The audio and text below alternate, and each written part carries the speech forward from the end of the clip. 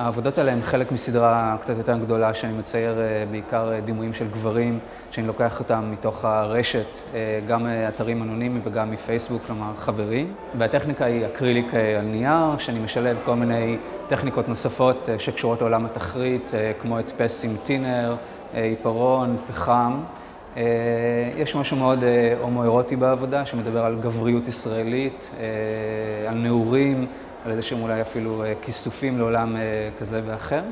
ויש גם איזשהו מימד של דקורציה, שאני מוסיף כל מיני חומרים אחרים, כמו עבדים מאחורי העבודות, עם אלמנטים של פרחים וצמחייה, שנותן לזה איזה הלך רוח של יציאה אל הטבע, מתוך כל האורבניות אולי של האינטרנט, שמשם אני לוקח את המקור הראשוני של העבודה.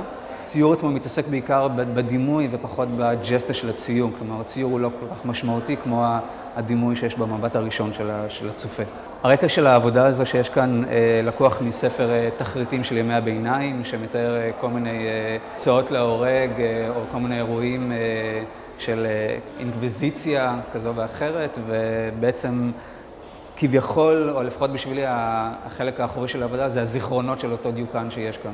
זאת אומרת, משהו שנראה ולא נורא, או נוכח ונהדר בעבודה עצמה.